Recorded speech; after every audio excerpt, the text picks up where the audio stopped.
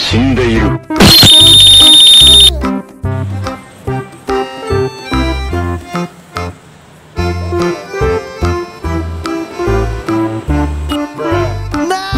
ini dia yang gue cari, Bray.